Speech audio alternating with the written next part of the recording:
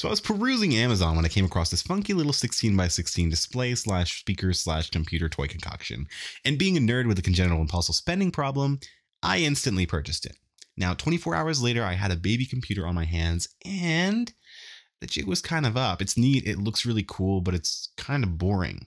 And that's when I realized I can control the images with Bluetooth from my phone. So I whipped out an ancient Raspberry Pi from my old pile of nerd stuff and got to work coding a program that could interface with my little computer over Bluetooth. Now, after an hour of fiddleage, lo and behold, I can make requests to the Pi and flip the pixels of my choosing from white to black. Now, the project is open source on GitHub, so if you want to check it out, you can do so there. My end goal is to be able to host a website where random strangers can come and totally not draw phallic objects remotely on a device. If you want to see that, follow for part two.